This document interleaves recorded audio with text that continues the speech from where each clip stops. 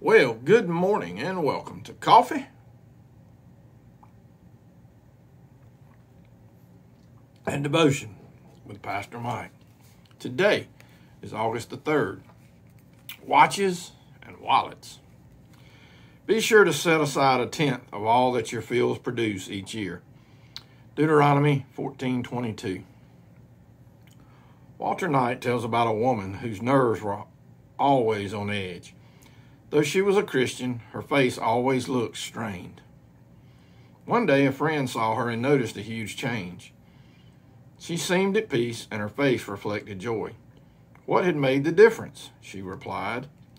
When I first became a Christian, I tithed my income. Now I tithe my time also. I see to it that He has a tenth of my day my quiet waiting on Him. Truly, He has undertaken for my every need, and I praise Him. In truth, God owns all our money and all our time, but He allows us to be stewards over it. When we faithfully tithe our income to Him, it pleases Him and extends His kingdom. As we tithe our time to Him, we're showing Him that He has first place in our priorities.